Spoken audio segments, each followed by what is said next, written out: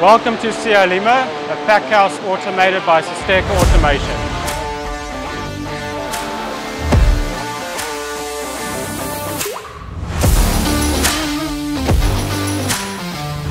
Here next to me we have a fully automated bin tipper. Uh, the idea with this is to fill the line up and not need an operator to keep it running.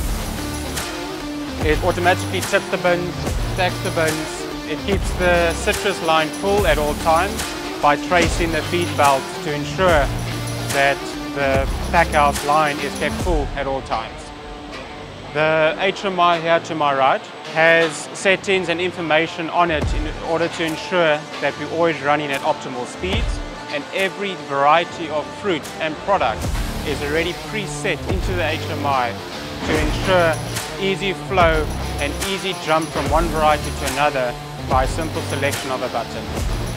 Should there be a trip on the bin tipper, the HMI clearly illustrates the, the issue and where the fault lies, as well as how to correct it. The panel that the bin tipper is fed from also has color changing just lights, so green for healthy, red for trip, and yellow for minor faults. The reason why we've done this is to ensure easy fault finding for the client.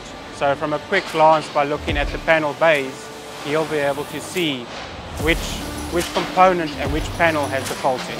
We've also implemented systems where should a motor trip, the client will get a notification on his phone explaining the position of the motor and the position in the panel of where to rectify the fault. As you can see, the bin tipper offloads the bins, cleans the line and comes out on an empty belt uh, where an operator will pick the empty crate up refill it and pack it back onto the automated tipper.